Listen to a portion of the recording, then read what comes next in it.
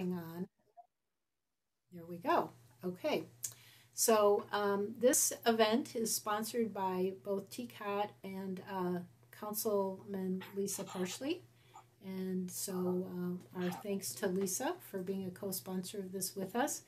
Um, she sponsors this as a way to try to help the public um, be aware of climate issues that go along with the climate mitigation plan. So um, we have four panelists tonight. Um, and so the way we're going to do this is each of them is going to speak in turn, sharing information with you. And I'm going to ask that people hold their questions until um, after all the presentations are done. However, if you have questions you don't want to lose track of while the session is going on, you can put them into the chat box. Um, for those not familiar, you can find the chat box at the bottom of your screen if you move the cursor around. Um, and so I'll be sort of monitoring those. If you do have a question that's sort of like you you actually don't understand, it doesn't make sense, something the speaker has said, you can put that in the chat box and I may ask them while they're going along. But otherwise, we'll hold the questions until the end. Um, and then I will also be calling on people who will have their hands up at the end. So um, that is the format that we're going to have.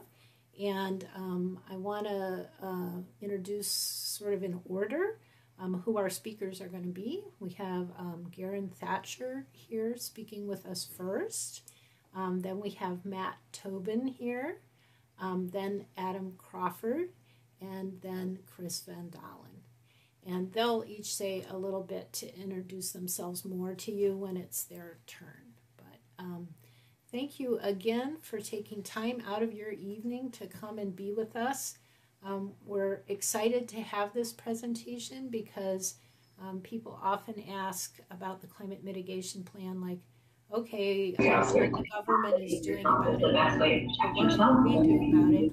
Um, and you know, this is the part of what you can do about it. These are things that, that you will be able to do in your own home. So um, with uh, no further ado, I'm going to introduce Garen and, and let him start.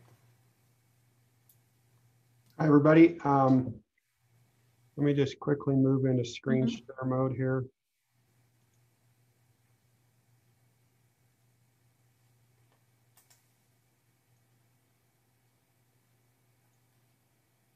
Okay. Um, my name is Garen Thatcher. I am with a company called Swiftsure Energy Services we do a couple different services for uh, primarily the new building and construction, residential construction um, uh, business of doing uh, third-party verifications for energy credits and meeting energy code um, for their homes. The other thing we do is a lot of, of high performance homes. So if people want to build um, net zero homes and things like that, um, that's the majority of our business. A lot of the, the other thing that we do is we do residential existing home energy audits. Uh, so we'll come into a home, um, do an evaluation, and then tell you what you need to do to improve um, improve that home. We are truly a third party. I'm going to emphasize this several times. We do not sell a product other than our inspection service.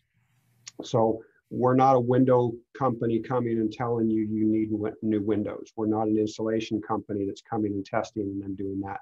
We're truly we we remove ourselves. Um, we don't have any relationship with uh, with the trades and companies such as that. We we do uh, partner with uh, quite a number of various organization organizations around the region and around the country. Um, so we're authorized to do lots of different verifications on on uh, properties what I want to talk about tonight is, is just a little bit about exactly what is that energy audit. And it's basically we can go into an existing home or a new home and um, determine pretty, pretty precisely how much the load and the energy usage of that home would be and indicate if things need to be improved, anything from um, duct leakage to home leakage to just even just suggestions like swapping out your light bulbs. Um, but really we're talking we're talking about what will reduce the amount of energy that your home utilizes. And an interesting thing that's come up really heavily in the in the last several years is as more homes have been uh, studied to what makes them more energy efficient, this these same efforts are making these homes healthier as well. And I'll and I'll briefly touch on that if we have time. Um, really, and this this I think speaks to that. We an energy efficient home um, really lends itself to fewer respiratory symptoms. We see a lot of asthma issues go away. We see a lot of, of uh, fewer days missed work. Fewer kids are, are missing school if they live in an energy efficient home. So what's included in an energy audit? Basically, um, we do five different things in your in your home. We come in and we do a blower door test. Now I've got it. The next slide is going to tell you exactly what a blower door test is. We test your ducts and we're looking for leakage um, in your ducts. We do, we pull out the infrared cameras, um, determine where we can see heat loss or energy loss going through the walls, around the windows. We do quite an involved um, visual inspection where we get up into the attic, we go down to crawl space, um, we kind of just poke around and see what we can find. Then we report um, out what we found and make recommendations to you. And it takes about 60 to 90 minutes, sometimes as much as two hours. Um, and again, like I said, we're, we're not um, going to be recommending um, a certain company. Uh, we might just say, we recommend you do this, but it's up to you to, to who you you uh, hire to come in and do the do the actual work. I want to quickly go over what a blower door test is. Um, essentially, what we're looking for is where your home is leaking. Every home is leaking. Uh, if you took all the leaks around the house, uh, my house is pretty difficult. It's about 25 years old. Um, I've done one of these. And as it sits right now, if I added up all of the leakage in my house that's going on right now, I would have about a two foot by two foot open window in my house year round that's that much air is coming in and going out. The idea is to get that down to inches rather than feet. And uh, that's what we help you identify and find. Um, we do this by hooking up a blower door. We usually hook it up in your in your uh, um, front door. We go around, we close all the windows, we close everything that should be closed. Um, we leave all the interior doors open because we want to measure the whole house. We hook up uh, this blower door. It's got this large fan um, here, and basically we we hook this fan up, and we hook it up to um, one of these this device on the right hand side. We put negative pressure on your house, so we're sucking air out of the house and then this computer will monitor how much air is being um, vented out through this door. By doing that, we can uh, also walk around and, and feel where things are. It's been really interesting. We can walk into an upstairs place and we can see the carpet come up off the floor by sometimes two feet um, with the amount of, of air that's coming in from the garage up through uh, um, the, the rooms above the garage and then it just lifts that carpet right off the floor. Um, sometimes these uh, homes are, are, very, very leaky. So this is the first test we do. Um, just to have an indication, the, the computer on the right kind of shows what the code is moving forward for a new construction house. Um, to even just pass code to be given an occupancy permit, a home has to have five air changes an hour this home right here, the computer shows 3.3 air changes an hour. That means the entire air of the house um, was replaced three times in one hour. The lower that number, the better. Um, and really the idea here is we want to draw air from a good source. We don't want to draw air from the attic. We don't want to draw, draw air from the garage. And we don't want to draw air from the, um, the crawl space if we can draw air from other good places, um, then we're okay. We do want air changes. Air changes is a good thing. Next test we do is a duct test. So this picture on the left is one that we see in a lot of older homes. Um, you've all heard of duct tape. Well, duct tape is what was used to hold ducting system together many years ago. um, it's gone out of favor because guess what? It dries up and you can um, have a problem. In this situation here, what you're looking at is not is two problems. One is is you can you're you're putting all your expensive heat and heated air and cooled air. You're just letting it grow out go out into your attic, which says you're no good. The worst case is is it creates a vacuum and you can suck air from your attic down into your home. So you're talking about air that may be up there. You might have all kind of infestations. You've got dust. You've got the open for cell um, materials for the insulation. You don't want to be sucking that material back into your home. So it's a really bad thing. So we hook up a, this fan to your duct system, usually a cold air return. We go around, we seal up um, all of the, the vents and the, the uh, everywhere that the air is normally supposed to come out. And we again hook up that device that I showed you a picture of earlier, and we measure the amount of duct leakage. And generally, we can find and identify pretty quick if you've got a, a situation like a picture on the left. Um, a lot of times, we're just recommending to the picture on the lower right is a uh, material called mastic, and or a lot of the tradesmen call it pookie. It's basically a really heavy, thick glue um, paste that you you brush on and it seals up all the joints. And it's kind of the it's the industry standard now for for sealing up the ducts. Next thing we do is uh, hopefully on a day that's uh, not like today, if we can get out where it's either really warm or really cold outside, we can definitely see um, areas of heat loss or cool loss, cool entry into your home. And the darker the color, the, the worse it is. So the upper left corner, you can see this is kind of a window sash. And we've got either a lot of, on the left side of this window at the bottom, we've got a lot of air coming in on the left side of it. So that's probably a sealed, a seal has gone bad picture on the upper right, um, there's some a lot of missing insulation in this home in the walls. Um, picture on the on the bottom, uh, there's a lot of attic insulation that could uh, could be replaced there.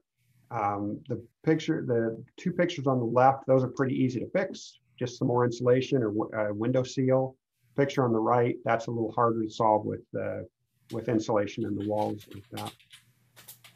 So those are the three main tests that we do.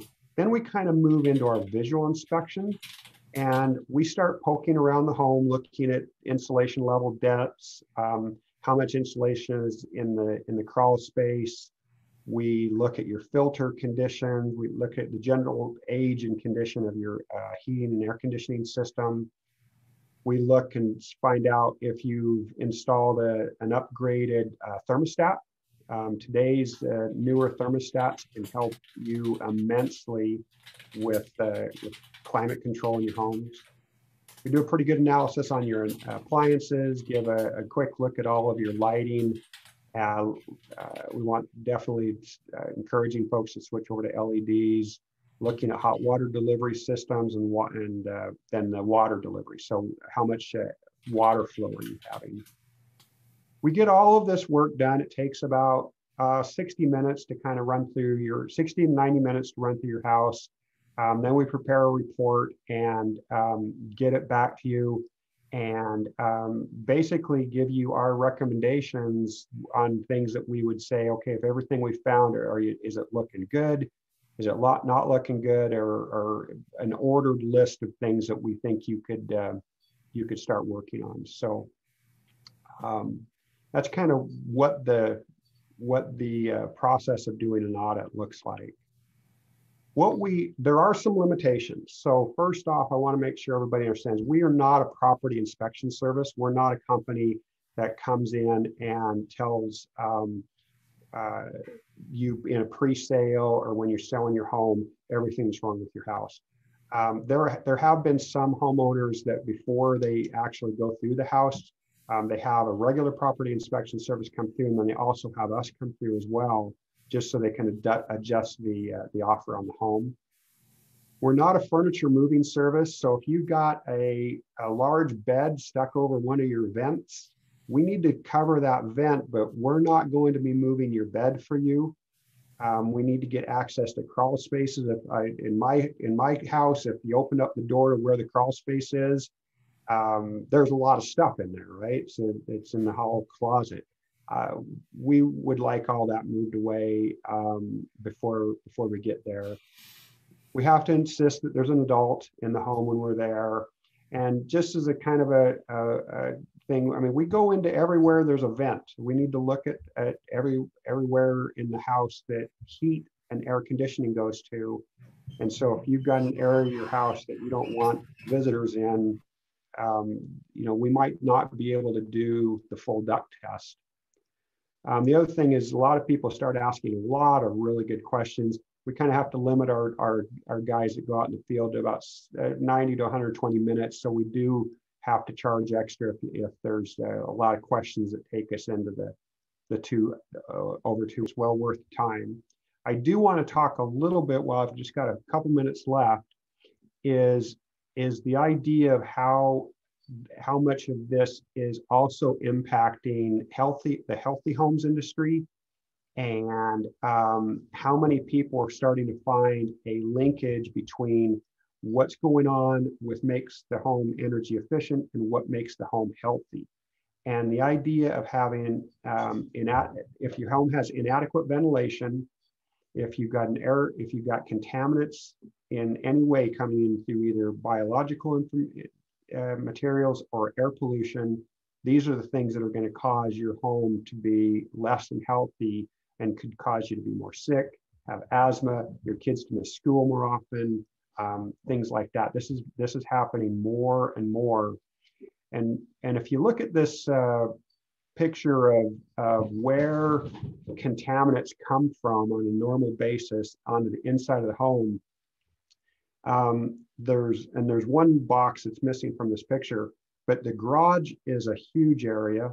Um, a lot of new homes around the state, especially in Oregon and Washington, um, new new homes are being actually built with a little fan that's built right into the garage. That every time you close the garage door, this fan kicks on and vents out all the um, exhaust from your car for five minutes, and then the fan will automatically shut off. Um, how many of you in your garage have the air handler in the garage and then have, you know, 50 gallon old gallons of paint and solvents and all kinds of stuff out there that's getting sucked in with the air from your air handler in your garage. Um, so these areas where you're drawing um, contaminants from into the home are critical that uh, you identify those and you can seal those out. Um, and this is a, an interesting slide. This kind of shows in the in the four areas of energy efficiency. We always talk about the, the insulation or, or how the home is, is framed in, so how it's sealed, um, the heating system, um, how it's vented, and how what your cooking supplies are. All of these things have a direct impact um, onto the left, onto the right side of this picture of health-related areas.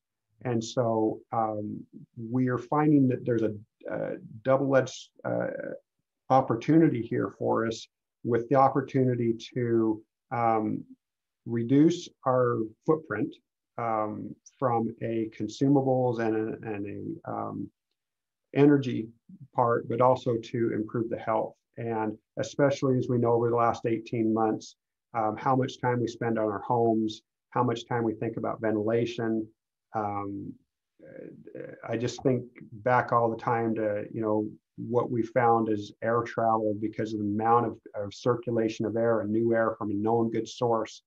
Air travel has been very safe over the last the last year, um, and homes that have a good um, ventilation system put in it are better than homes that don't. So that's uh, my presentation. Thank you. Um, I've got uh, my email and also my business partner's email on here. It is just a, a final slide. Um, please uh, write this down or um, I can post it out in the chat later on. But if you're interested, please give me a um, um, an email or, or call me at any time. Again, my name is Garen. I'm the second one on this list. And uh, thank you so much. I'll be staying on and, and uh, answering any questions at the end. Thank you. Thanks, Garen. Um, we have friendly panel to panel uh, effort here. Chris has a comment to make. Yeah, Garen, I, I was hoping uh, before we move on, um, and maybe you could open your slideshow again, uh, that I could ask you a question just about um, of all the different things that people can do in their own homes to improve efficiency. Um, you know, what are some of the what's the some of the low hanging fruit? And you know, uh, you know, one thing I think people might be asking is is what what are, which of the measures have a tendency to be able to pay pay back for themselves and energy savings in a shorter period of time, and which ones take longer? Um, that's one of the best things that a blower door test will show. In most homes that we do, it's it's aged seals, it's doors that don't close completely. It's um, a lot of times you can we can hook up a blower door and you can walk up to all of the light sockets, the, the sockets around on the wall, and you can feel a breeze coming through those.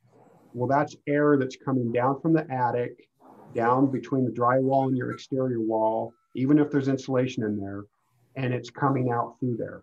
And so with just a really simple caulking or uh, one of those um, the foam um, foam sealant, um, you can start sealing up those things really, really easy.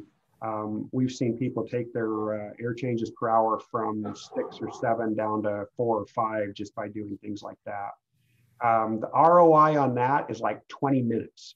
Um, a bottle of air sealant, uh, a foam sealant is less than 10 bucks. Um, you're going to see impacts on that really fast. The other thing that's I hope for a group of folks who are in this meeting, if you still got incandescents and high usage light bulbs, um, I don't know how many people have not made that switch yet, but I know when I made the switch, I made it in one month. I went from all incandescents and don't don't uh, steal Adam's thunder. That's what he's okay. Sorry, sorry. Um, that's another huge no-brainer. So, Chris, we go for quick ROI things. I I don't want people to drill to pop hole in their wall and fill them full of, of insulation if they don't need to. I don't want them to go out and buy new windows if they don't need to. Everybody always talks about windows. It's about a 10-year ROI. I'm looking for a month ROI. Um, and and that's though it's it's uh, ROI. You mean return on investment, and right. about yep. payback? Just yep. a little acronym alert there. Yeah. Yep. Thank you. Good good clarity. Um, the uh, a lot of times, uh, if uh, what we found on these things, we've uh, uh, hooked up a blower door and uh, not a blower door, but a duct tester. And luckily, we vented it out into the garage because we were surprised at just how much dust and crap was in the duct system um, that's just blowing around the house um, and, and blowing dust and contaminants around. Um, air filters, we've had furnaces that were completely plugged up because the people hadn't um, changed their air filter for four or five years. Um, so they were they were probably headed towards a failed uh, air handler, which is about five thousand dollar replacement if you have to buy a new furnace. Um, we can get that system back up and running with a new air filter, you're you're it's just you know an air filter is 20 you know nice air filter is 20 bucks. And you could save yourself $5000 right there well thank you Garen um, i'm noticing time and i think we will go on to matt so thank you very much Garen you're welcome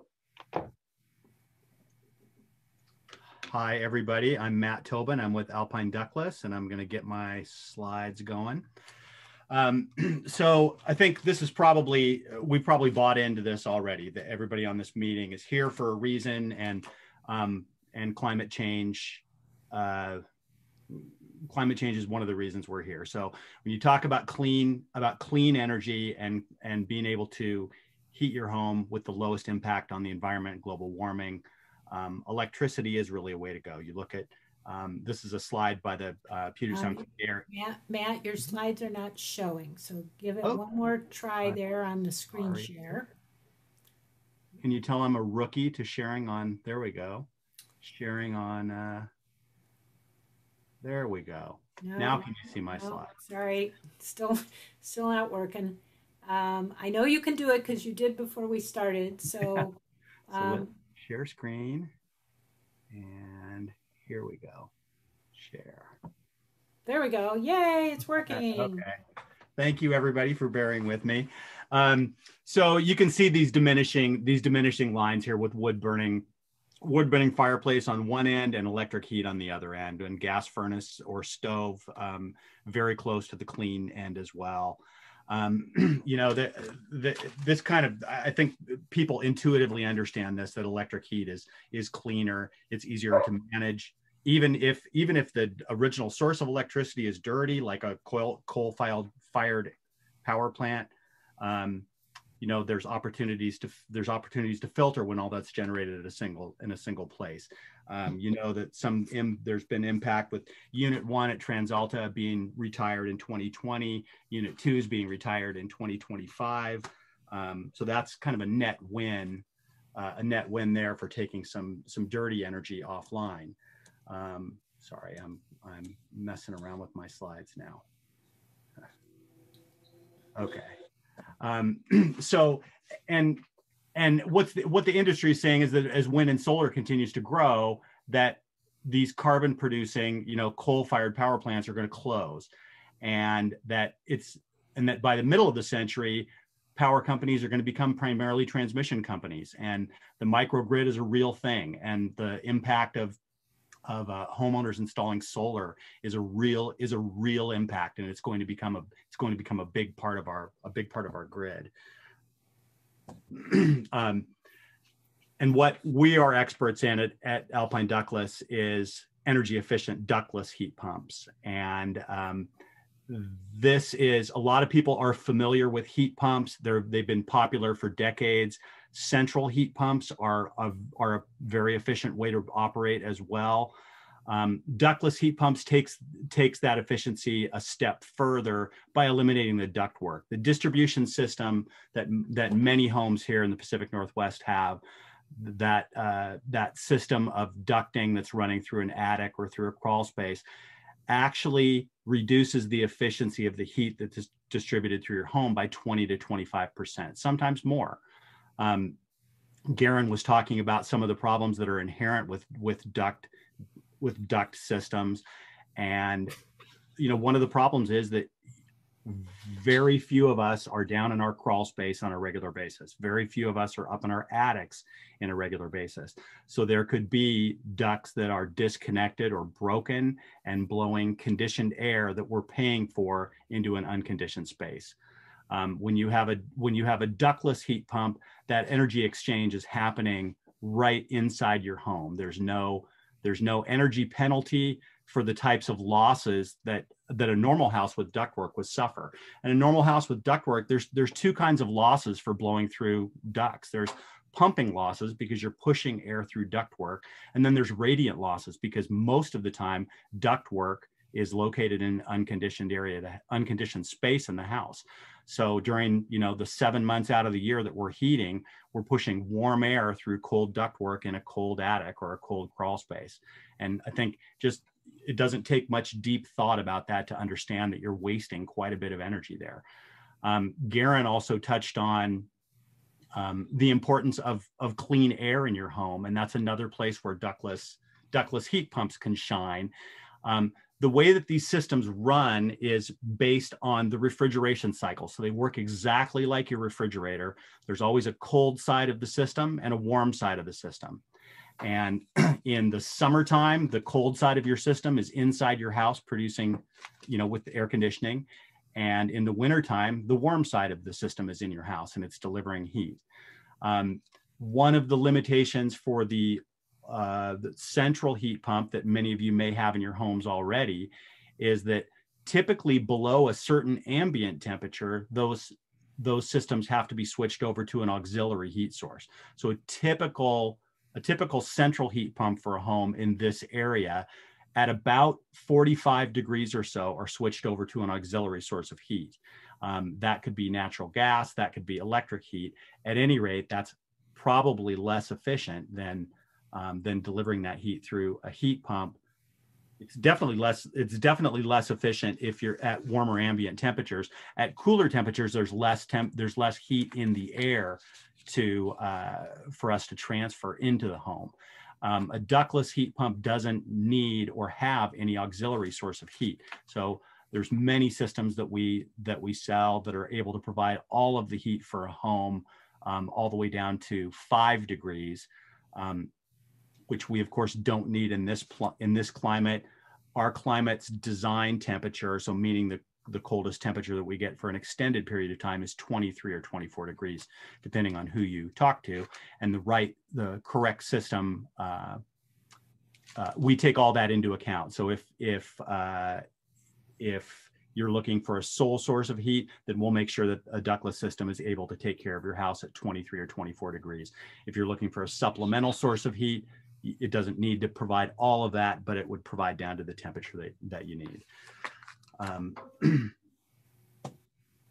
um, this just talks, this slide is, uh, is Bonneville Power Administration Northwest Ductless Project, and this talks about the relative cost of heating. So if you have any of these systems on the left-hand side of the slide, fuel oil, propane, um, or electric furnace, those are much more costly ways of providing heat into your home than if you look on the far right hand side, which, is a ductless heat pump. In general, a ductless heat pump will deliver about three times as much heat per watt as a zonal electric system. A zonal electric system is a cadet wall heater or a baseboard, um, radiant heat panels, those kinds of things. Um, and so just talking about the, um, you know, ductless, it has positive impacts on air quality. Um, it has positive impacts on your home's energy efficiency air conditioning could have even have a positive impact on your home's um, resale value. And so uh, ductless is really a win-win. And that's really all I have tonight. Matt, could you just comment, does does the ductless use any electricity or a little bit more about, you know, how it's actually working?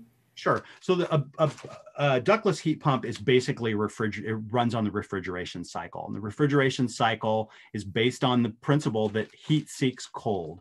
And so when we create a, a cold side of the system, heat is attracted into the refrigerant, and then that refrigerant is pumped to the inside of the home and the the uh, through the refrigeration cycle there's a phase change where the refrigerant condenses it goes from a vapor to a liquid and when it does that it releases that energy that it took on.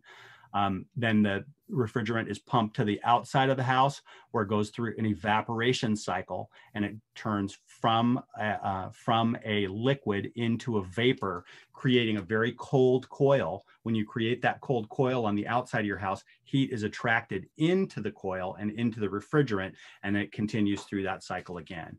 And i'm not sure i addressed your question Lynn my question was whether it uses electricity at all. It, it does use electricity. So the the mo- a modern uh, ductless system is an inverter driven, has an inverter driven compressor, and then also fan uh, fans on the indoor and outdoor unit to help transfer the air. So they do they do use electricity, but typically again to deliver the same amount of heat as an electric, uh, a space heater or cadet heater or baseboard, they use about one third the amount of energy to deliver the same amount of heat. So in the picture you have there, you can see a unit. And so if people were thinking that this is something they might want to do, that they might want to, you know, get a heat pump, what should they anticipate in terms of sort of where it would visually show up in their house? That's a great question. So the, a, a, lot of the one of the biggest objections that we that we get is that uh, most people that have seen ductless have seen an appliance on a wall. So typically they're you know they're they're about three feet wide. They stick out from the wall about eight to ten inches. They're about 12 inches tall. And that's the most common that's the most common configuration. That's that's called a wall unit. And they normally are placed high on a wall Um, the in the slide that you're looking at right now, those are called a floor unit, and they take up a little bit of space. You can see they'll even fit under a window in many instances, um, and you do need a way to bring room air into an appliance and condition it and then blow that air back out into the room. There's also units that sit up within the ceiling joists of a typical of a typical room. So that's called a ceiling cassette. And one of the advantages of those is that they're really they're really kind of not in your visual field. So if you're thinking about you know this is a beautiful home i've spent a lot of time and energy making it beautiful. I don't want an appliance on my wall. You don't you don't necessarily need to have an appliance on your wall. You might be able to have something in the ceiling or some other type of we've also done some custom applications where there where all of the interior equipment is hidden as well. And would that be in one room all rooms the, the most common configuration that we that we sell and install is in a single room in a single um, a single main living space um, Puget Sound Energy uh, is provide some really generous, uh, really generous rebates. Uh, virtually every customer of Puget Sound Energy is eligible for at least a single rebate. Um, manufactured home owners are oftentimes eligible for up to about $3,000 in, in rebates from Puget Sound Energy. Um, Which of course leads to the uh, cost question. Like, if people were thinking about doing this, are they looking at a major investment or with rebates, not so bad? Well, we're not going to get to the 30 day, uh, the 30 day simple payback that Garen was talking about, unfortunately. But, um, but typically the, the lowest cost of entry that we see for a stick built home is somewhere around $4,000 completely installed.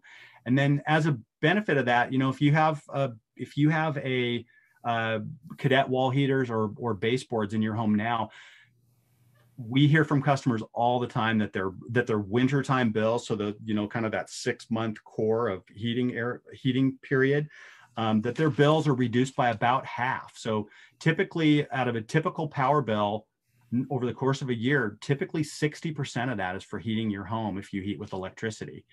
And yeah and it can and so it can have a major impact on reducing your your monthly spend and you know again we're not going to get to the 30 day the 30 day payback but with some really generous um, rebates from puget sound energy um, we have seen customers in the in the four five six year payback period. Mm-hmm. um, cost of entry for a stick built home is again could be $4000 for a manufactured home is oftentimes less than $2000 um, and then that would be probably for a single zone system where we're heating the main living area of the house and with the connected rooms getting some benefit from that heat and cooling as well.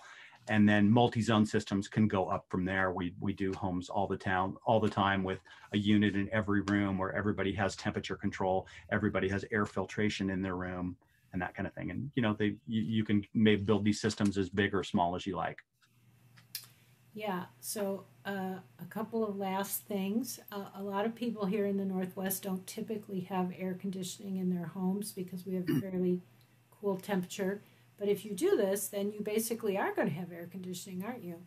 Right? The, the, all of the systems that we sell are um, rebates tend to be a, a, part of the transaction for every system that we sell. Puget Sound Energy has really the best rebates, but all of the almost all of the utilities around have some rebate. And in order to do that, you need to take away that you know you need to shrink that 60% of that average of that average electrical bill. So the utilities are giving rebates because you're going to be saving a lot of money on heating. It's also a much more comfortable way to heat your house. So most people are familiar with a furnace or a cadet or a baseboard where those systems are either on or off. And typically I, have done some analysis on the um, on the central uh, central furnace that I have in my home, in addition to my ductless system, and it runs about an, in the in the the thick part of the heating season. It runs about 15 minutes an hour, so it'll run for four or five minutes at 100%. It'll shut off. It'll let my house lose that heat over time. It'll come back on. It'll run for a few more minutes. It'll shut off. And your temperatures fluctuate like that. Typically, you know, five to seven degrees, sometimes more. Um, the way that a ductless heat pump works, and one of the reasons it's so efficient, is these systems are driven by an inverter and by a smart controller. So the controller is constantly measuring the temperature of the air and the heat and the heat rise and it's comparing that to the output of the system at any given moment and it's making really small adjustments in the output in order to maintain your house at that temperature so rather than a conventional heating system says i need to get your house to that temperature and then i'll shut off this uh, a ductless heat pump says i'm going to get your house to that temperature and i'm going to keep it there until you tell me not to. Great thank you. Um, last question and then i'm going to go to adam. Um, so uh, I think you're saying that some air is coming in and out of the house through this system, and so if there is, uh, we'll say, smoke from forest fires, what happens? You know, typically not. These these these systems are. Um, this is basically a refrigeration system for your house, and it's a refrigeration system that will heat or cool your house, but it's using the existing air inside your home and unless there is a special provision to accommodate the need for outside air, then there is no air transferred from the outside of your house to the inside of your house with the ductless system. Now, with that said, these systems are quite effective at filtering the air because they run almost all the time. I'm I have a ductless a ductless system that I'm looking at down the at the end of the room that I'm in right now and it rarely shuts off. So it's constantly filtering the air. And because it's doing that, they become a great opportunity to add um, if you're interested in if you're interested in reducing the impacts of um, you know wildfire smoke and things like that there are ionizing uh, purifiers that can be added on to um, to a ductless a ductless heat pump head in order to reduce some of that particulate in inside your house in addition to what the filter already does Great. Thank you, Matt. You just really covered a lot. Thanks, Lynn. I, am going to go to Adam now, whose ears must be burning from all the things that have been said about PSE's great uh, rebates. Yeah, all right. So I will go ahead and share my screen. There we go.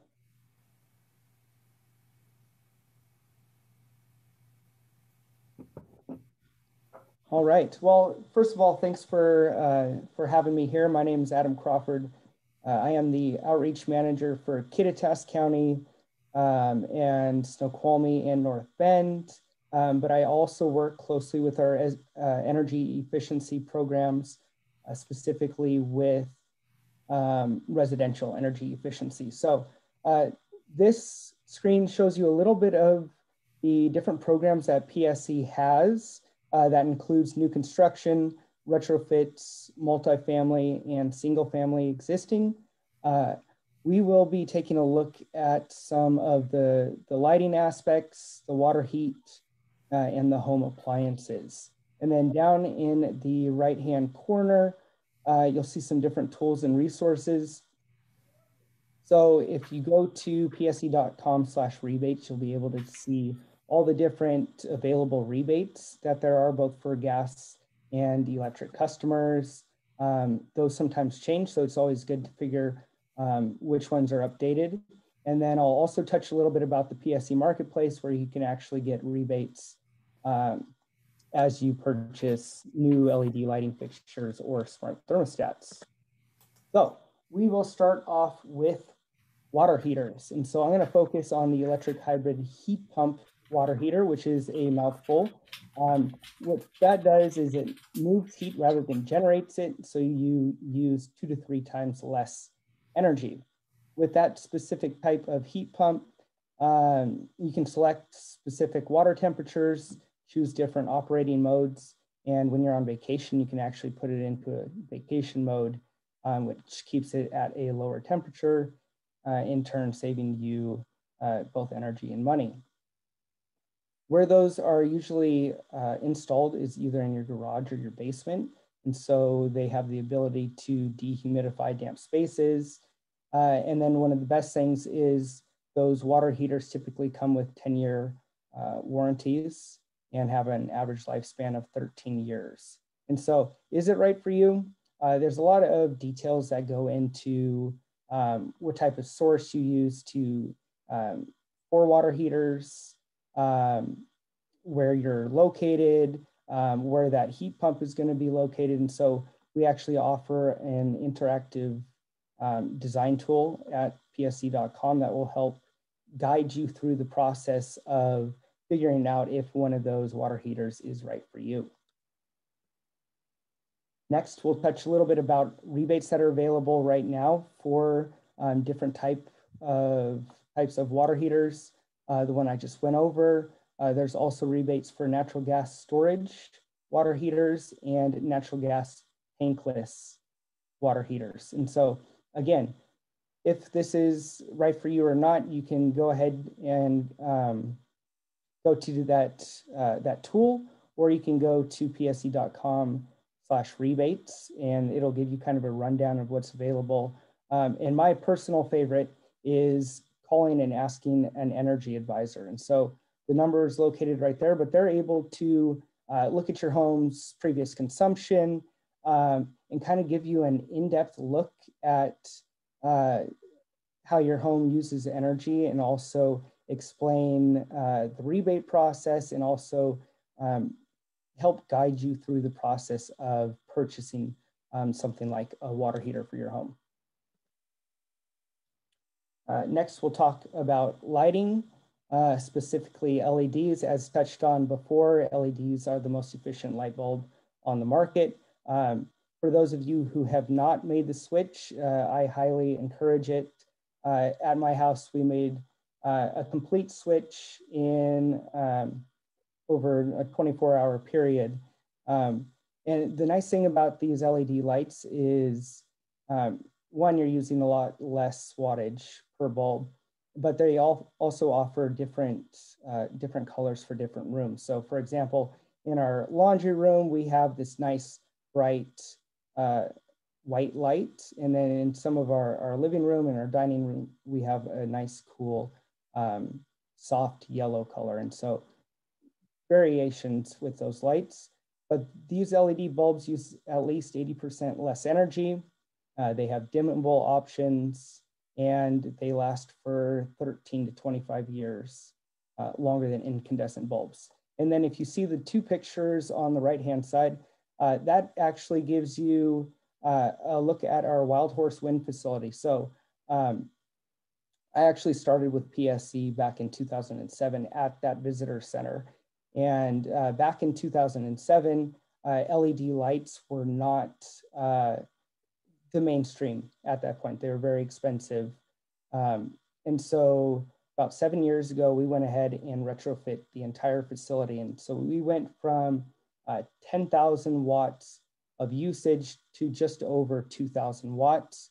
Uh, and then you can see the ceiling uh, in that visitor center is about uh, 30 to 40 feet high.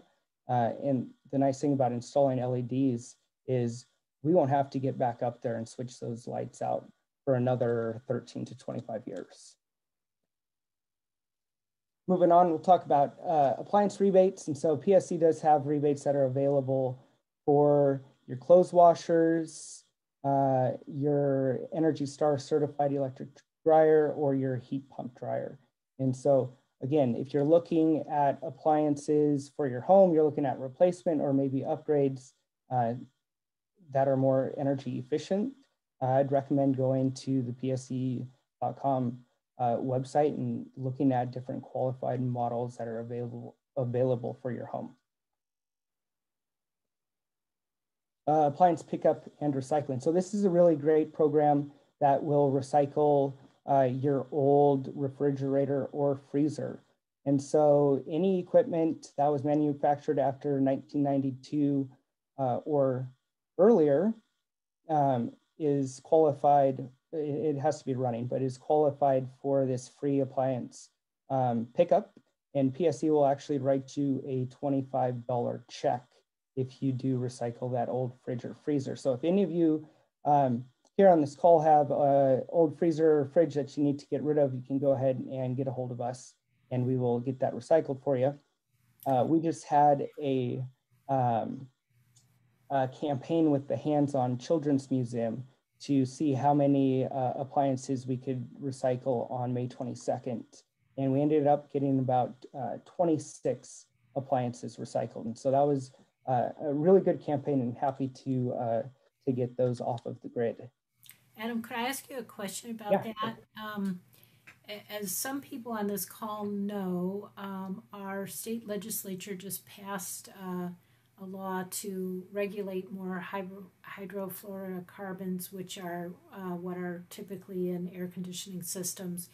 And part of why they did that was because um, in an international treaty that has been um, made for, I don't know, five years at least now, um, uh, th- those hydrofluorocarbons were identified as one of the worst greenhouse gases there are.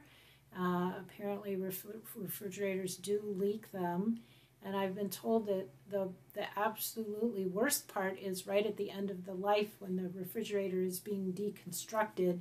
Um, they used to just release that out into the air, and so in that uh, uh, program that you have where you're reclaiming them, are they starting to address that about about how to um, get rid of the hydrofluorocarbons without releasing them? Uh, that is a great question, Lynn, and I don't have that answer for you. Um, but I would be happy to to look into that uh, and get that answer for you. I would love it if you could uh, do that, and I'll even send the answer on to other folks afterwards. Absolutely. And one thing I would just flag to people's attention too is there will be different refrigerators coming on the market because of the treaty and because of the state law.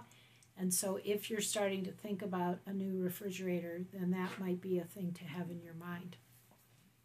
So go ahead, Matt. I'm, I mean, Adam, I'm sorry to have uh, Oh, interrupted. no, no worries. I only got a couple slides left. So, uh, smart thermostats. Uh, right now, we have a $75 rebate on smart thermostats. Uh, these are great for keeping your home more energy efficient. Um, and these smart thermostats are able to be controlled over Wi-Fi. Um, they can learn the heating and cooling aspects of your home.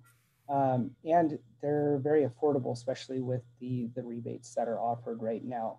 And so there's there's smart thermostats that um, you know start at $150 and go all the way up to $350. It all depends on um, how much technology you want within that thermostat. Um, but in order to um, to participate in that, uh, you need to be a gas or electric customer, have a centralized system, um, and you're able to get one thermostat rebate per household. Um, and then for the uh, homes that are electric only, uh, there are semi new to the market is the line voltage uh, connected thermostat. And so these are primarily for your baseboard or, or your zonal heating uh, or radiant heating. Uh, and you can get up to five thermostat rebates per household. And those are for the different uh, it's five of them because those are for the different zones within your home. And Um, the, when you say the smart thermostats, you're talking about ones that are programmable so that they will turn off while you're gone at work and not heat the whole house while you're gone. Absolutely. Mhm. Yep. And you're um, with some of the new ones, you can actually control uh, control it from your phone. And so if you are if you're away in the winter uh, on vacation and you're about half an hour away from home, you can go ahead and turn up your your system to to a comfortable degree uh, right before you get home. And and would you say that that does make a really big difference to people's um, consumption of energy if they have it low while they're gone out, you know, from work? Yeah, yeah, absolutely. Um, you know, it's it's been interesting times uh, for some of us since we've been working from home oftentimes, and um, haven't had the ability to to lower um, lower that heat. But yeah, I think it's is people are getting out more and and having the ability to um, to control your home's uh, temperature uh, more precisely will definitely help with your efficiency of your home. Uh, and then the last thing, uh, just talking a little bit about PSE Marketplace, where essentially it's an online marketplace that allows you to get PSE rebates on the spot. And so you don't have to fill out any paperwork afterwards, after the purchase, and, and send that into the manufacturer or send that into PSE. And so uh, on that marketplace, we have LED light fixtures, we have uh, shower start thermos, thermostatic shut-off valves, again, a mouthful, um, and we have those smart thermostats. And so one point about that uh, shower start thermostatic shut-off valve is uh, you attach it to your shower. Um, and what it does is it allows the water to heat up. And as soon as it gets to a certain temperature, think 100 or 110 degrees, it'll actually shut off. Um, and uh, until you get into that shower and you pull that, uh, that nozzle, it will uh, save you essentially hot water. And so that's how those work. All right, so that's that's what I got for you. Um, okay, so could I just ask um, of the different appliance things that you were talking about, if somebody was going to try to prioritize, like, okay, I think what I should do first to save energy, do you have a recommendation to them about, you know, kind of where to start in the appliance world? Yeah, so um, from all of the things that I presented on, of course, I'd start with LEDs. Um, but then I'd look at smart thermostats. That's something that uh, that is affordable, um, and there are rebates available for that, uh, as well as installing some of those um, the shower start valves. I personally have not used one yet, but um, it should be over the next couple of weeks. Um, and then you'd start looking into um, water heaters and uh, and your your washers and dryers based on um, you know affordability of it and and and you know personal choice. Mm-hmm. Great, thank you, Adam. All right, Chris Van Dalen is up. Great, thanks, Lynn. Um, uh, so I work for a company called Capstone Solar, so I'm going to talk about why going solar is such a great thing right now. Um, but but I want to just say that I'm actually here today, kind of representing myself as the as the chair of the South Sound chapter of the Northwest Eco Building Guild, and as a board member with Thurston Climate Action Team. And so my presentation is not about my company, but but more about just solar in general and how great it is, uh, great an opportunity it is. Before I get into it, though, I want to just say about all the presentations that have preceded mine. Um, you know, a lot of us are looking at this and the kind of the the tone of the conversation or the the, na- the the, the, the nature of the conversation is like, okay, how can I improve my home? And uh, there's a lot of folks that in this community who don't necessarily even have the ability to improve their home. They might live in a rental home, for example, or they may have, you know, limited income and not really be able to afford some of the upgrades that we're talking about. And so, one thing to keep in mind in this conversation is it's not just about you know our home or my home it's about everybody's home and all, all of the things that have been presented um, really are equally if not more important to the less advantaged people in our community.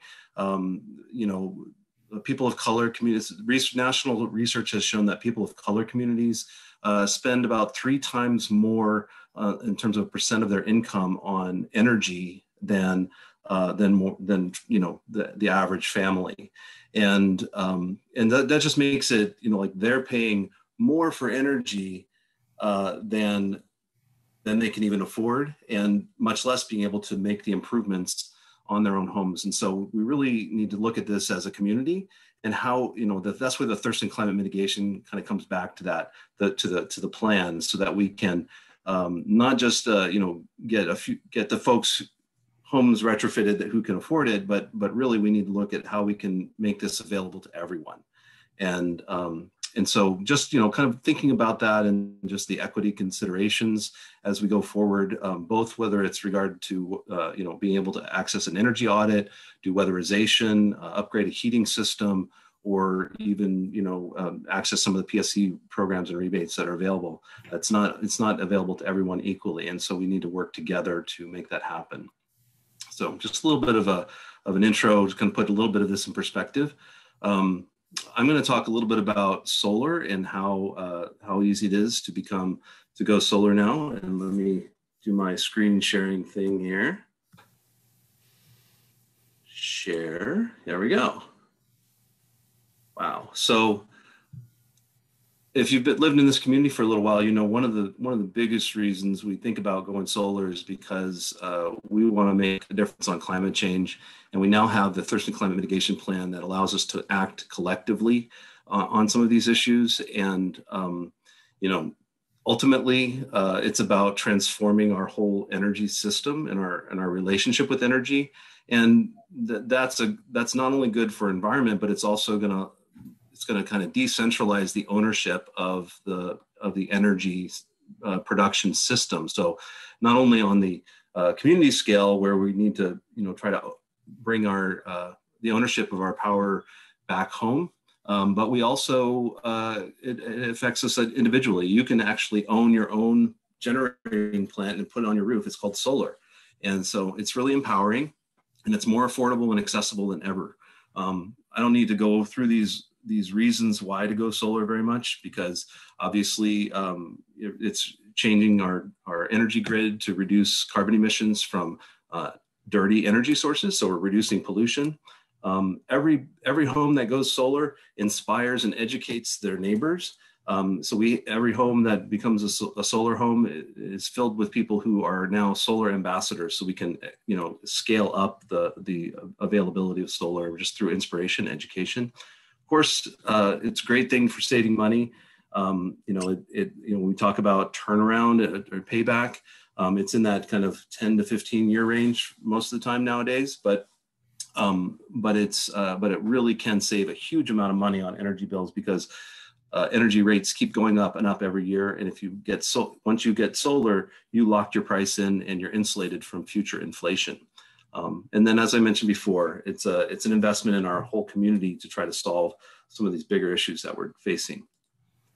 And I want to go to the next slide. So one of the questions that comes up is, well, does solar even work in the Northwest? And I want to uh, uh, I want to thank and uh, acknowledge uh, the elder in our community who is here tonight, uh, Kirk Hafner with South Solar, who, who really taught us all that solar can work in the Northwest. It's, you know, the technology has improved and become more efficient. And so it works even on cloudy days. Uh, and we get, uh, you know, we actually have more days of sun and more solar energy here in the Northwest than they have in Germany, which is one of the biggest users of uh, solar power in the world. And so, yes, solar does work here. It can work on homes, um, both uh, single family homes or tiny homes. It could work on uh, multifamily residential buildings, businesses uh, are really benefiting from solar. Uh, we can talk to Lisa Parshley about why her business is going solar and what that's doing for their bottom line um, and also for their, uh, their, their footprint.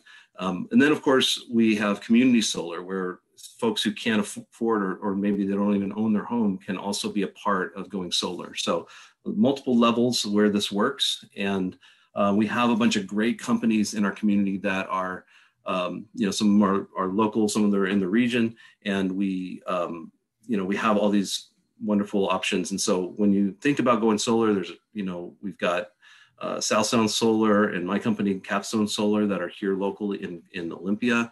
Um, you know, farther north, we have A&R Solar that's installing solar all over the state and the region. Puget Sound Solar and Artisan Electric are more up in the in the Tacoma and um, Seattle area. And uh, you know, you may know some other companies that we could mention later, but um, you know, all these companies are doing great work and contributing to the solution. Of course, Olympia Community Solar is a special case, and I'm going to talk a little bit more about them at the end. So, how does this work? Um, how do you save money with uh, with solar? Um, you know, the real thing, one of the real questions is that, you know, like if you're producing all this sun and solar power in the summer, how do you get to use that energy in the winter when you really need it, when it's cold outside? Um, luckily in Washington state, we have something, a policy called net metering that requires utilities to give you a credit for every uh, kilowatt hour of energy you produce from your solar array that's in excess of what you use, you get to actually get a credit for that one kilowatt hour for one kilowatt hour. And uh, then later on. You see that on your elect on your utility bill. You see how many credits you earned each month, and then in the next, um, uh, you know, later in the year, you get to use those credits until they're gone. So you get you get to actually use the solar energy you produced in the summer in the winter. There's a little video here that I'm not going to take time to show because we're a little short on time, but it explains net metering. Um, just do net metering Google uh, and, you, you'll find it on YouTube. It's if you want a little more detail on how that works. Oh, oh just push play. Didn't mean to do that. Okay. So um, uh, there's, as I mentioned, all the different companies, they all have a slightly different process, and I don't really know uh, how other companies do it. I, I've been involved with Capstone Solar here for as, as a sales rep for them for about a year now, and um, I'm going to talk about you know the process and how easy it can be to get get going with solar. Um, from our company perspective, and other companies do it maybe slightly a little different, but generally it's a very simple process. The installation is is pretty unobtrusive. So I mean, people sometimes say, "Oh, I've got I've got to do so many big projects. I don't need another big project." It's actually not a big project because it only takes a day usually to install, and it's a very simple process of of getting set up for it. So. Um, all you have to do to get going on solar is to call one of those solar installers and give them a copy of your electricity bill. They use that to do either an on-site assessment or a virtual site assessment, and that'll provide a customized analysis that's tailored to your home of how much energy you use and how much solar you need to offset as much of that energy as possible. Um, and then you'll you'll see a preliminary design of what uh, what solar will look like on your house and how much energy that will produce and how much of your electricity bill it will offset each month. Um, once you've looked at those numbers and you decide, yeah, this looks great, I want to go for it. The next steps, you know, for our company is we do an on-site assessment um, that involves actually flying a drone over your house. So we take about 8,000 pictures of, of your house and the trees around it uh, within about 10 minutes. And then we put all that into a software program that, that gives you a 3D model of your home that's very accurate and um, allows you to look at the solar array as it's been you know as it's been designed on your home from every different angle um, it's really kind of a cool tool and um, you get to look at that. Um, once you've approved that, you get to, once you look at that design, you say, yeah, that looks great, that's what I want. Um, you go on to the next stage of finalizing that design and the electrical design and engineering, um, and finally the permitting process. Um, for us, the whole process usually takes anywhere from four to eight weeks from the day you say, yes, I want to do it, to the day that it's turned on. Um, you know, there's a couple weeks at the end where you might be waiting for inspections and for PSE to come by and flip the switch. Um, and so that can, it can vary quite, you know, four to eight weeks for us. Uh, we're, we're moving pretty fast these days. So um, that's the process. And here's a little bit about what you would see. So I talked about that preliminary design. So uh, we do a virtual uh, virtual site assessment where we use aerial imagery to uh, map out, you know, look at your home and and virtually with computer software place as many panels on your home and uh, then do the modeling of how that how that compares to your energy use throughout the course of the year. Um, you know, the software is pretty tech, pretty uh, sophisticated. Actually, uh, you know, uses if you see on the right here, it uses this, uh, you know, time lapse kind of um, modeling to to look at the, how the shade uh, affects your your solar production and all that and that's where you get uh, an estimate of for every kilowatt hour for every kilowatt of solar you're installing how much kilowatt hours you're going to get out of that in a year for this example um, this person is getting uh, 71% of their energy offset and they're getting very good exposure here it's it's uh, 9910 kilowatt hours a year uh, from a 9.49 kilowatt system. So, it, you know, multiply that 9.49 by 10,000. Anything over that is um, is really great. It's really gravy. Some homes that have more shading will, will see less than 9,000 kilowatt hours in their um, projection if they're if the, if they're not getting full solar exposure. So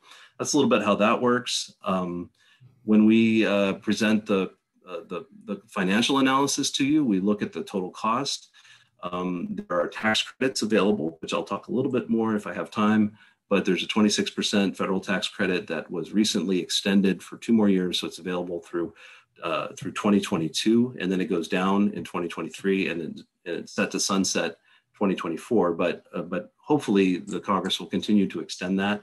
Um, there's uh, we we offered a direct incentive for folks to work with us on a little bit of promotion, and then you look at this net cost, and that's really what you have to think about as your as what you're spending on the system overall after you get that tax credit back.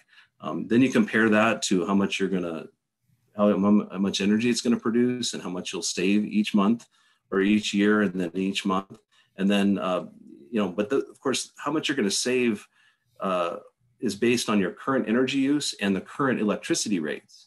But electricity rates keep going up every year. The average over the last 20 years is somewhere between four and six percent, and um, it's projected to actually utility rates are projected to go up even faster um, in the years to come with all of the changes to the energy grid um, supply infrastructure with uh, changes off of coal and and moving away from natural gas. So those rates are probably going to keep going up higher, and um, and so if it's only five percent over 25 years, the system would save uh, Christina here uh, $49,000 on a uh, on what that she would have spent on energy, on electricity, but instead she bought a solar array that only only cost her $13,000. So that's where the the savings really comes in is that long-term um, savings over a longer period of time.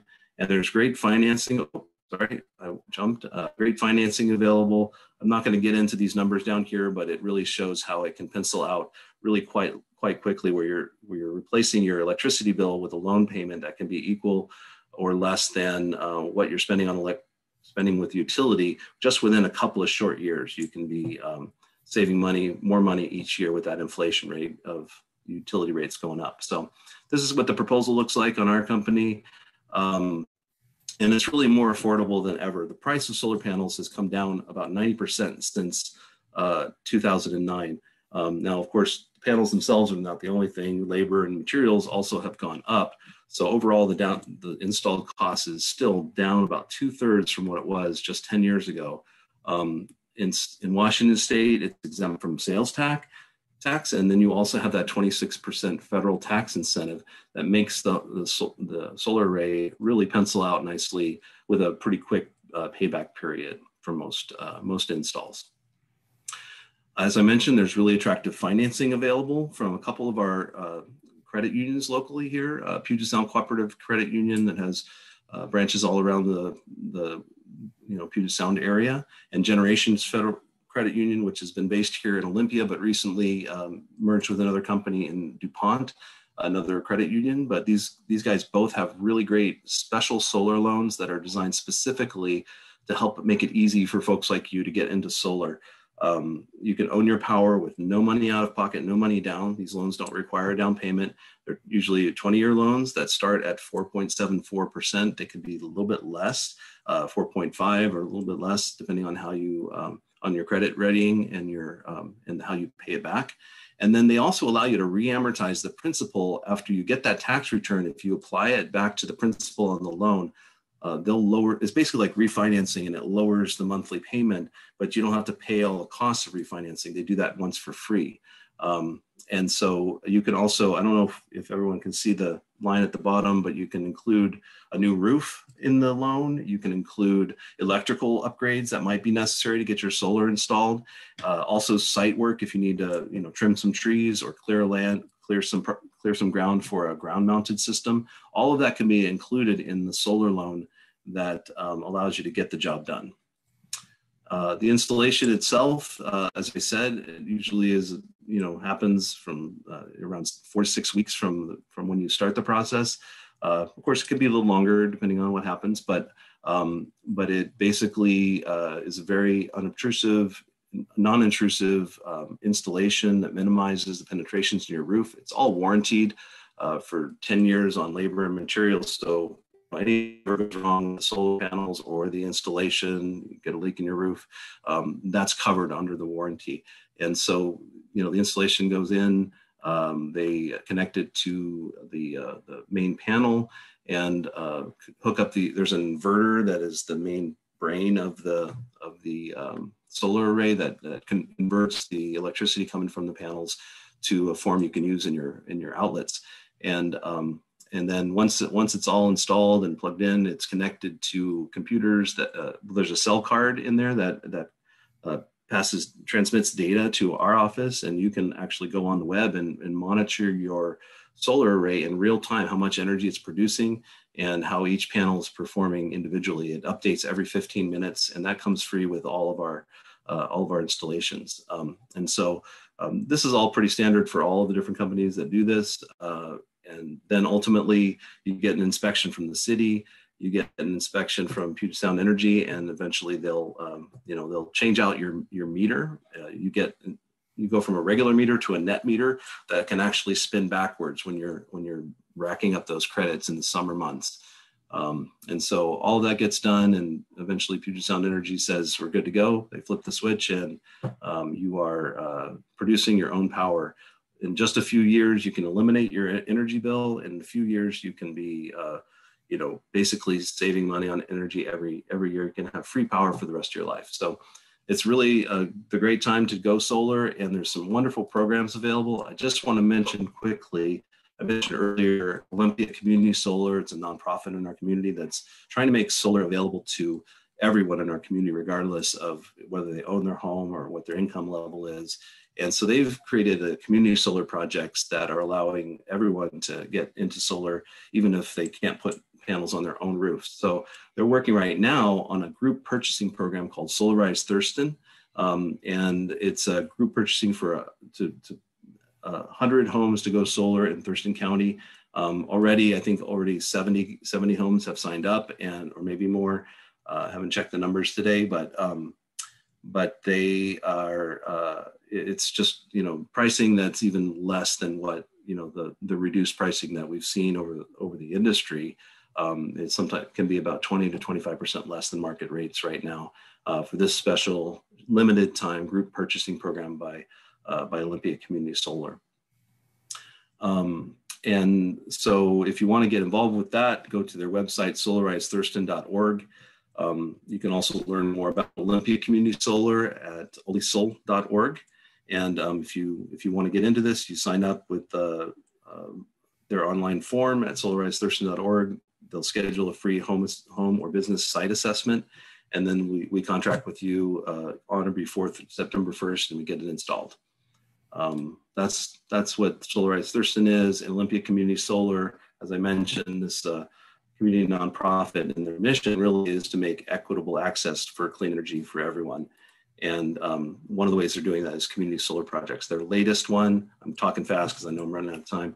Their latest project is the Sunflower Community Solar Project, and it's going to be a 73 kilowatt array on the Olympia Farmers Market. And um, you know, they one of the things they do with this is they allow folks to buy buy a, a share in the in the community solar project, and you can either take the credit yourself and, and you get money back for the power your your your portion of the array is producing, or you can donate that to a low income community um, with the Solarize program, Olympia Community Solar is donating uh, solar access to low-income community members um, for every 50 kilowatts that are installed through the program. So uh, that's kind of how we're working with them to uh, increase the equity involved.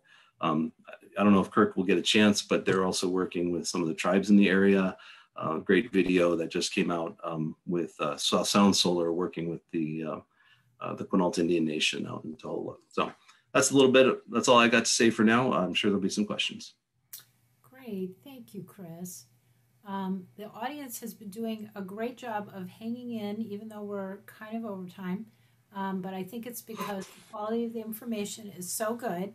Um, I am going to ask Lisa Parshley to talk for just about two minutes, and then we're going to do question and answer. Uh, so Lisa is going to talk about like now you heard all these things what you can do to your home. What is what is energy efficiency got to do with the climate mitigation plan? Is what Lisa's going to talk about. Thank you, Lynn. And um, I have to do a personal thank you to Thurston Climate Action Team one, um, we have to acknowledge that the climate mitigation plan is in place in large part because of the activism and advocacy that was put forward by this group. Um, what can energy efficiency? I've, I've been listening. I haven't always had my video on because one, my dogs and my clients' uh, dogs have been barking and I've had to do things, but I, I have actually learned quite a bit um, including um, how to, to actually do an energy audit. That was fabulous, um, by the way. Um, I really particularly like the infrared um, showing where your energy escape is. Back to how this fits into climate mitigation in two ways. We know that buildings, both residential and commercial, are the largest part of our carbon problem in Thurston County. So if we're going to have the biggest impact on and get to our goals, which by the way, I just pointed out to the city staff yesterday, it may be nine years to we're to a point of no return in climate, but we're nine years to our first goal. We've got some work to get going. Um, so if we're going to have the biggest impact to get to those goals, we're going to have to work on energy efficiency. We're going to have to work on our buildings, not only the new buildings, but retrofitting. And programs like this are going to be key because the city governments can only do so much. We need the community to get out and work on their own properties and encourage other people to do that. The second piece, which I thought Chris's last one did fantastic, all this is going to have a dollar bill attached to it. How do we make this possible financially? And believe me, one of the things about the climate mitigation plan phase four that we're going to have to talk about is incentives. How are we also going to make ready uh, amounts of money, no interest, low interest loans? How are we going to take advantage of hopefully some of the things that are going to come out of Biden's administration so that we can bring that into Thurston County? encouraging the Thurston County uh, Commission to finish their work on C-PACER. So these kinds of webinars are going to be critical to achieving our goals. It's going to get community members doing it. It's going to help us finance it.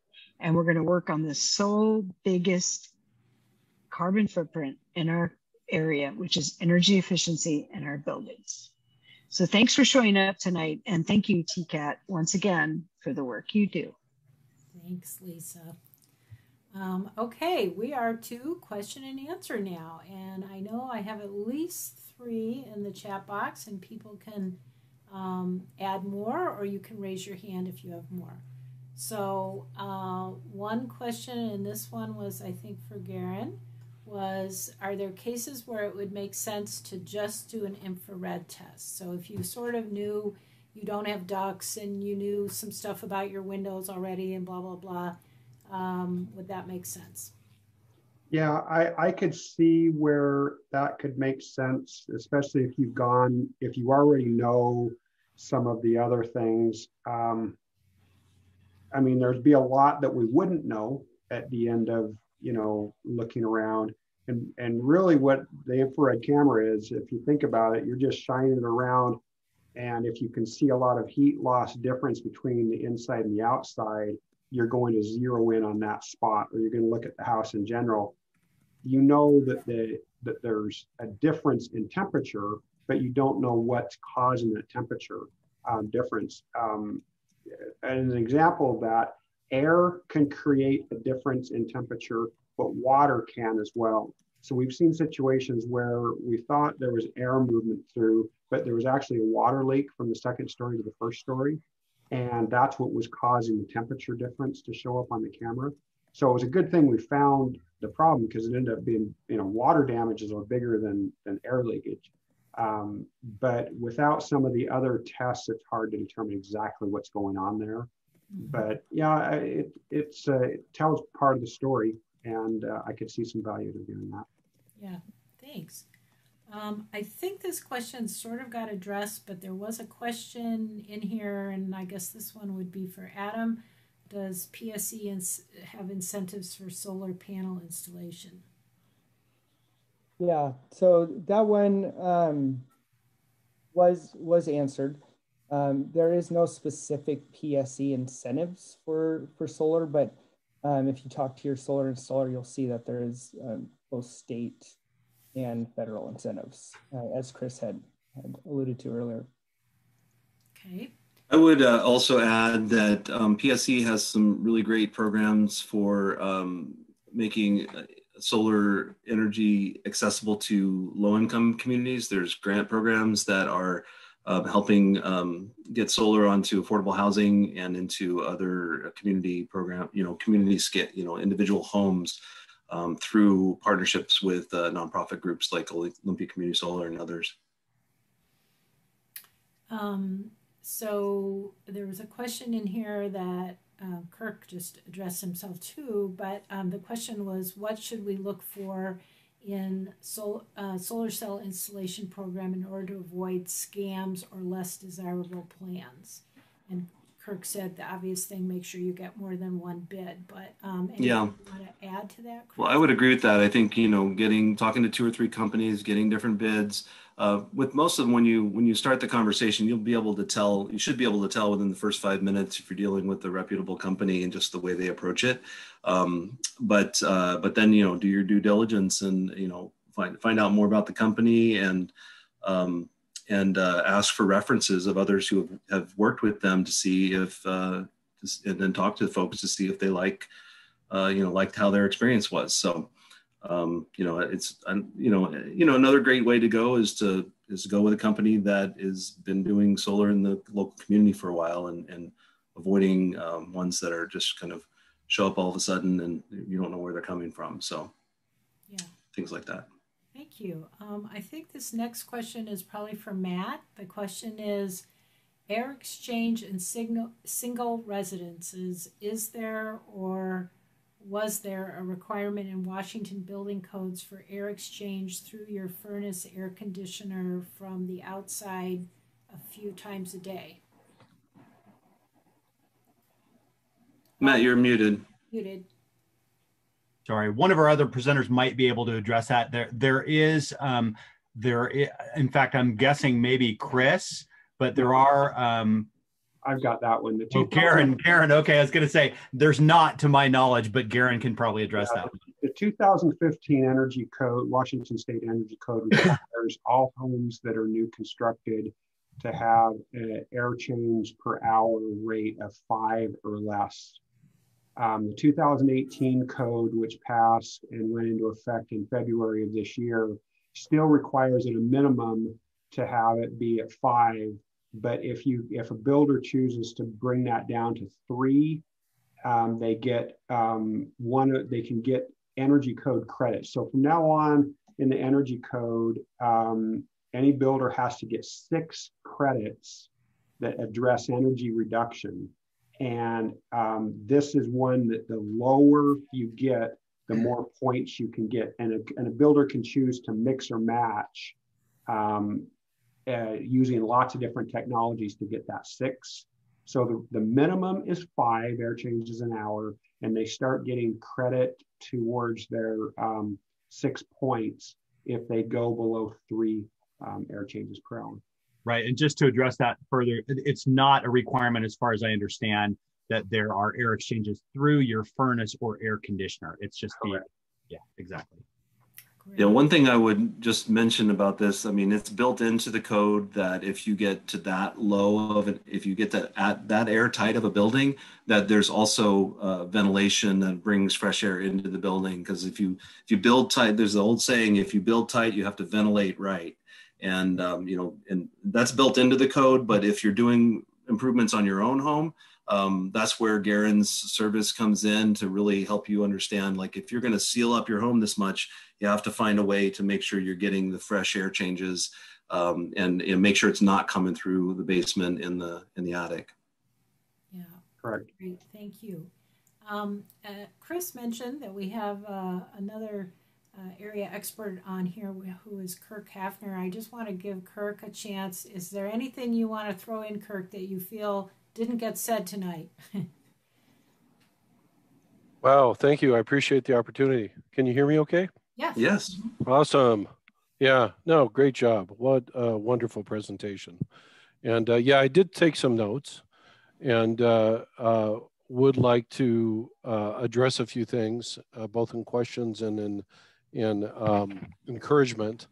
Um, Chris had mentioned with community solar uh, about the opportunity to invest in community solar. We often recommend community solar for people that do not have a good solar site uh, yeah. because our company and others uh, often will tell people no. If you do not have a good site, we do not recommend solar. We don't want to put solar will will not work or the panels are at risk because of falling debris or branches or things like that. But more importantly, it's getting back to the other presenters. Um, oftentimes we get to a site and a homeowner say, I have a real high energy bill. And for that, that uh, raises a red flag. Uh, why do you have a really high energy bill? And when we see um, electric baseboard heating. Or recently, I just had a neighbor that wanted to do solar, and I climbed up in the attic, and there was zero insulation. I said, no, I don't want to do solar. You need to add uh, the three key tenants that Matt and Adam and others will add to is energy efficiency, conservation, and air sealing are kind of the big three that we see.